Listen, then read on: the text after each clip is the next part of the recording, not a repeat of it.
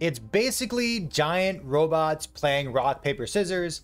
It kind of feels like a Rube Goldberg device. There's very little RNG in the game. It's a lot of fun. This is the first auto battler that I've ever played. It's called Mechabellum. Uh, if you've played auto battlers in the past, you're going to have a lot more information than I do, but I've been playing for about a month so far. I'm kind of hooked on it, and it's very, very fun. It's been a great thing to do in the meantime while I personally wait for Last Epoch, the action RPG, to come out of early access. So this game's kind of caught my attention. I'm going to play a game here, but first I'm going to go over the unit modifications and kind of show you what this looks like. I've been using a website called mechamonarch.com. Uh, that person set apart or uh, put together a guide kind of describing the units, and I used it when I was a brand new player in order to understand what was going on with all the units. Since then, I've watched a couple of top streamers who are people who have like the little Twitch icon up here there's a handful of them that you'll see streaming with some frequency on twitch.tv. Um, and you can ask them like what their loadouts are, and those people talk about it. So that comes, you know, that kind of describes what my loadout is. So the, for the people who are watching right now live, I'm gonna type in exclamation point loadout, and you can see what I do here. So when you're playing, if you're a brand new player, you will uh, you'll unlock currency in order to unlock these tech configurations it's basically your onboarding process, and you will have enough currency in order to unlock everything. And at some point, after a couple days of playing, you can just spec whatever you want. So each unit that you have here, nothing, nothing's OP. There are things that are strong. There are things that I like to complain about. Nothing's OP. The game has relatively good balance to it. Every unit, you can spec them with four different things, and then as you play the game, uh, you can you can purchase these technologies. So these are my loadouts. My characters don't have these by default, but it gives me the option to uh, to spec into these during the game itself. Also, the game is very pretty. So there's tournaments. There's an in-game tournament, which makes me wish that there were in-game tournaments hosted in every game that I've ever played because I think it's so cool.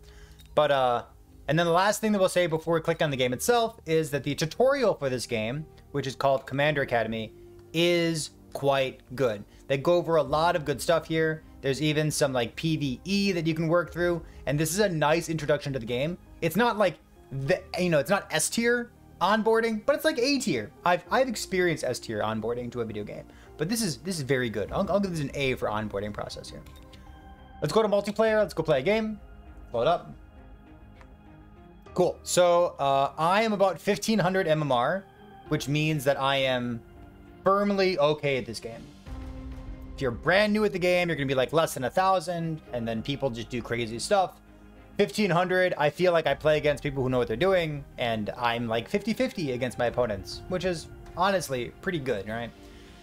If you're at like 2000, you're like expert, and if you're 2500, you're just like S tier. Just like very, very good. So that's that's my opinion of the random um, uh, MMR rating that got introduced about a month ago from this point. So we'll load in, and at the very beginning, we get four cards across the screen. We're going to pick one of those cards. The cards have a leader on top with a corresponding amount of HP, and then two random units under it. So these are going to be like starting units that we can have here, about here. Um, the the leaders each slightly change your economy. So increase, I guess not change economy, places change your stuff. This is worth about 100 gold. I can explain that later. Elite spec for me is really hard to play because your units start out stronger, but they all cost more. Quick supply is fine. Aerial's fine. Um, I can do quick supply here with like some marksman, some sledge. Marksman's like single target, sledge is like AoE. So it's like a nice little balance there. So here's our first round. We're going to start with 400 gold here. We're going to immediately look at the bottom right corner of our screen in order to recruit no, or like unlock units and then purchase some units. But before we do that, let's pan over here to see what my opponent has. They have a bunch of medium units. So like I anticipate that my marksman's going to be good because marksman's pretty good against like big single things, which is like these arc or, sorry, these arc lights here on the ground and then these birds, these phoenixes here. Uh, so they're probably going to buy some kind of chaff. They're probably going to buy some kind of small unit. And I don't really have, I guess I have some AoE. Sledges are pretty good for AoE. I could take that. Um, very often, maybe like 90% of the time, 95% of the time, if I don't already have crawlers, I kind of just like buying crawlers. Crawlers are good as a level 1 unit. They're like these little little puppers. They're like these little little dogs.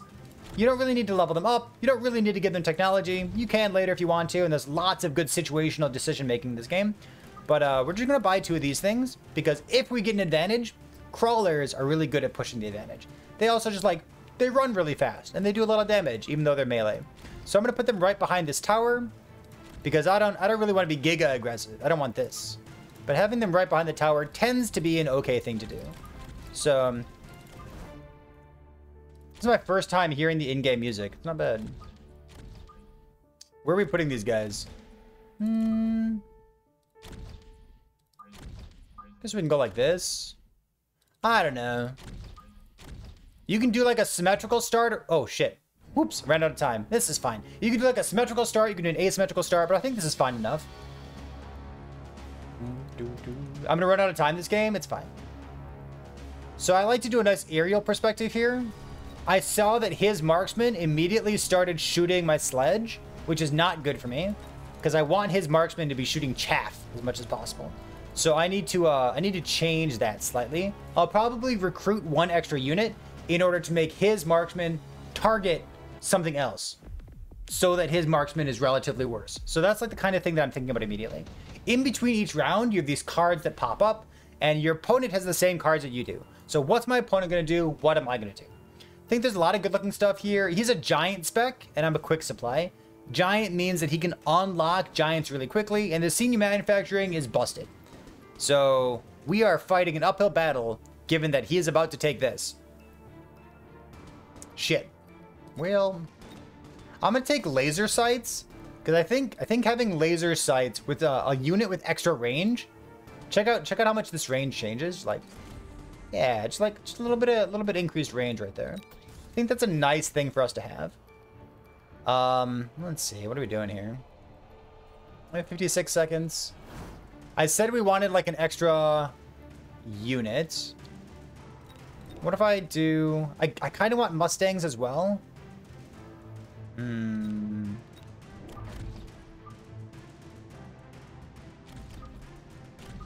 I could do this. Having a couple crawlers in the front here. I don't really expect him... Oh, actually, he has a...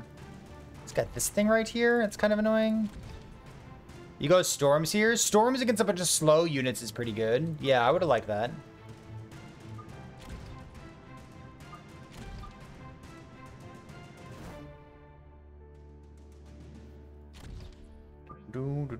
I'm gonna put these like on the flanks. That's that's not the best thing I've ever done, but let's go here, click, storm, click. Yeah. I'm to move them out slightly. I'm, I'm really worried about a sentry missile right here. If he places a sentry missile right there, which is a consumable, it's a one-time use, uh, it would be really good against me. So. Eh. Me talking so much caused me to make a bad decision. That's fine. We'll work through this. So my opponent Wow! My opponent didn't take the senior manufacturing thing? That's wild to me. What? They didn't? That's got to be a mistake, right? Ooh. All right, so... Chalk went up for the home team, baby. My opponent went Wasps. So they've got tons of air units right now.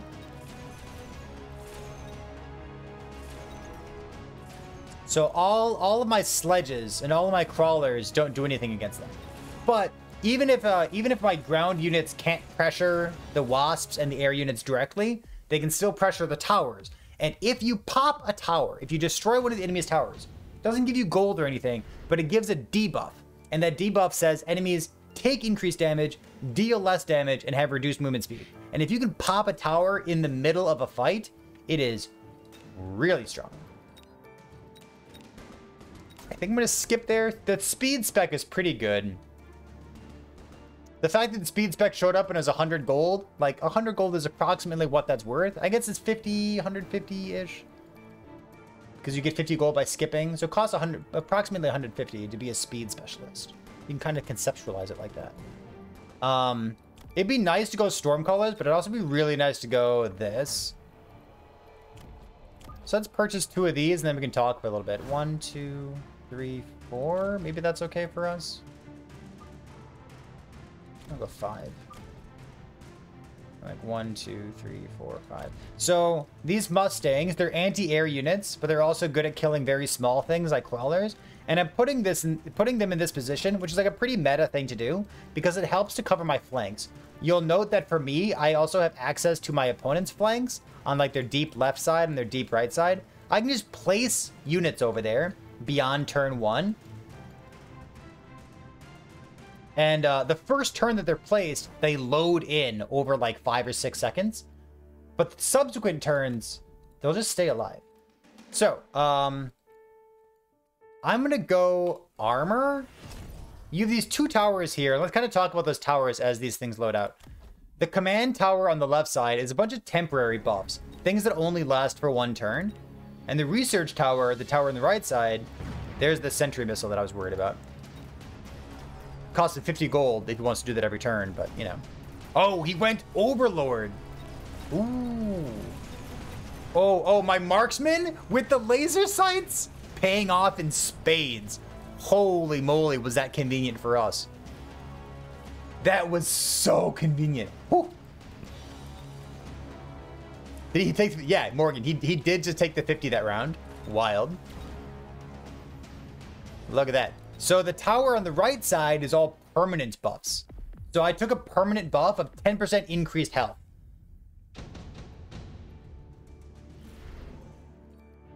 So he could take this thing again. Super heavy incendiary. Incendiary is a cooldown.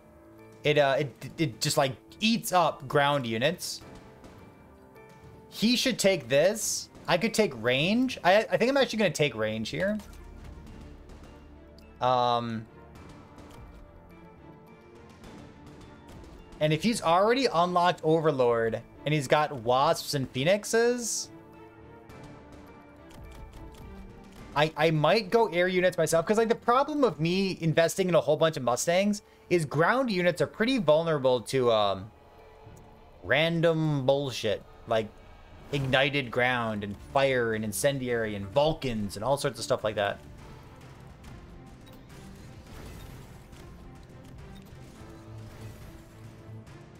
Um, I might do it right now. I don't know. Yeah, yeah, I hear you. I'm not sure what to do here. This is this is kind of tricky.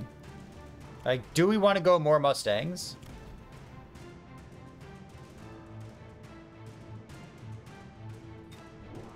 I think I'm going to.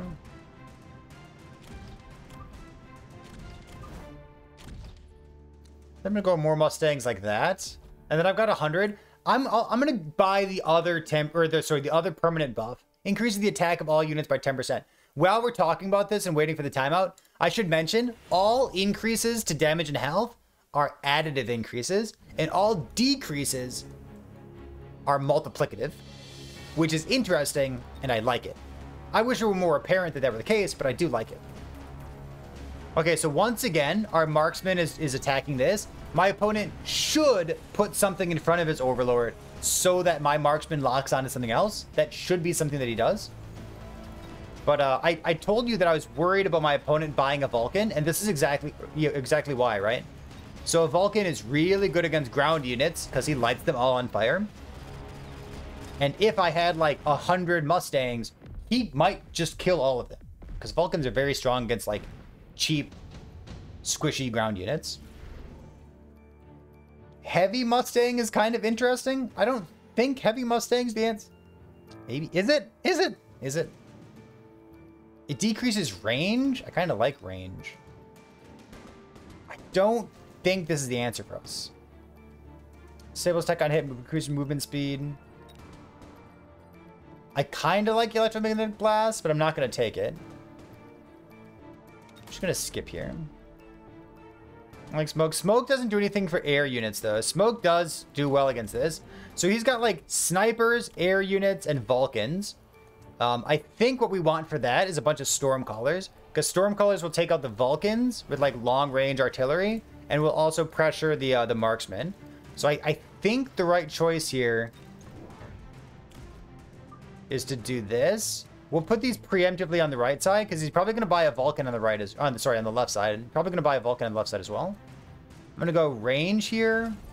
Mass recruit another one.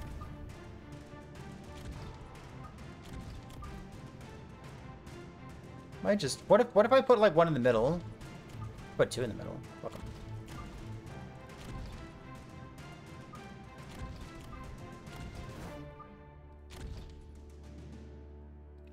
And like these, these will help to target that. They're kind of spread out. They're not gonna like hit by anything. I'm gonna buy one shield because I'm a coward. Ship it. Neat. All right. So worth noting that ground effects don't go through shields. So this is like fog, which decreases your range by half. But okay. So his overlord is still dead, which is very good. Our storm callers that we preemptively placed on the left side and we bought the range upgrade for are already killing the Vulcan over here. So that's good for us.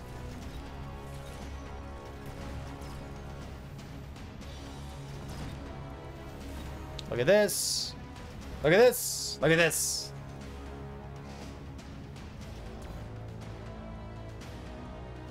The things that I've been working on personally, I don't think I buy enough chaff. And I and I think I buy technology more aggressively than other people do. I think those two things are on my mind. Orbital Javelin is an expensive three round cooldown. It doesn't get stopped by shields and it deals uh, 70,000 damage. 70,000 is enough to kill this Vulcan here.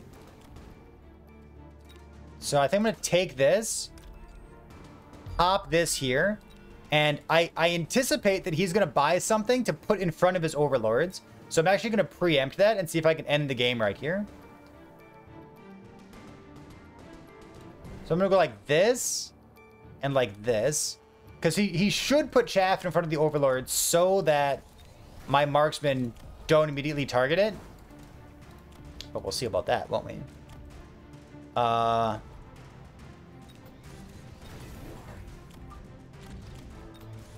So I just bought range on the marksman as well. What are we susceptible to?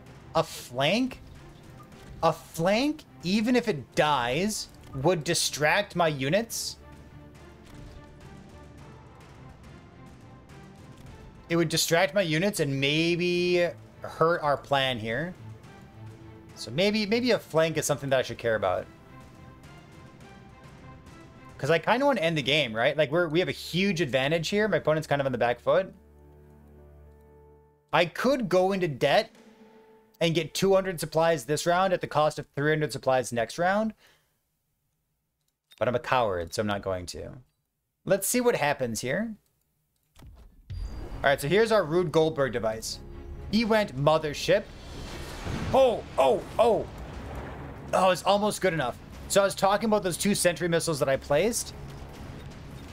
All right, let's see how it goes. The Wasps died from the mothership upgrade on the Overlords. My marksmen have giga range because I purchased range for them. So they should still be able to target the mothership and blow them up. I have all these storm callers that have huge amounts of range. And he's got these two birds left that are just being picked apart by the marksman. That was... That was pretty clean. It's pretty solid. So after this is done, let's click on View Battlefield. You could, um, I, I don't know if there's a clean way of doing this, but there's a there's a practice mode in this game as well. So what you could do is like maybe take a picture of this, or I think you can use the replay. I don't know exactly how the replay works, but you could you could take this and rebuild it in practice mode and then try different purchases against it and see how they work out. I don't think there's an automatic way of doing that. If there is, let me know because there should be, and that would be amazing. But um, loading up this replay and then rebuilding it in practice mode and trying out different things is something that I've been meaning to do because I think it'd be really, really strong as a way of learning. Um, yeah, look at that. Look at what what could my opponent have done here? I think I think a flank would have been really strong. My flanks are basically held together by these Mustangs, but like imagine if they went like I don't know, an overlord over here. Cause like as soon as the Mustangs are dead, this is dead, this is dead, this is dead, this is dead, and then there's one marksman. And then just like everything else collapses, right? So like I, I have all this range that I'm attacking my opponents with, with my range upgrade Stormcallers, my range upgrade marksman, But like if my opponent came at me quick from the left to right, or if they even just like used a mobile beacon, you could I, I call it the wiggle strategy of like putting a crawler in front and then using mobile beacon to ship it over to the left side where it like follows whatever uh, line you set out for it. I think the wiggle strategy would have been good against me here. I think blitzing me with a rhino could have potentially been good here. I think these overlords were like a little bit too little too late.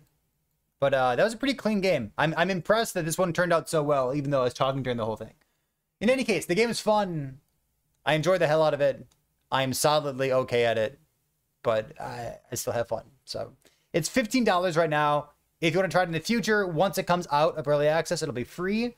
Hopefully they do some kind. Listen, I like MTX. I don't know if you like MTX, but I like MTX. Hopefully they do some kind of like monetization where you can recolor the explosions of your storm callers so that they're pink.